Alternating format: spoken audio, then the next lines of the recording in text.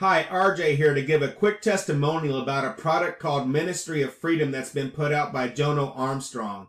This is by far the most um, complete step-by-step instructional affiliate marketing training program that I've ever gone through that I've seen these kind of results from within a short period of time.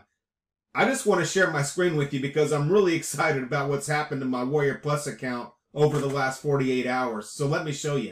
So here we are in my Warrior Plus account, uh, $421.20 today, $476.10 yesterday. So in the last two days, I've made nearly $900 inside my Warrior Plus account. Absolutely mind blowing for someone who has been really struggling to make money online.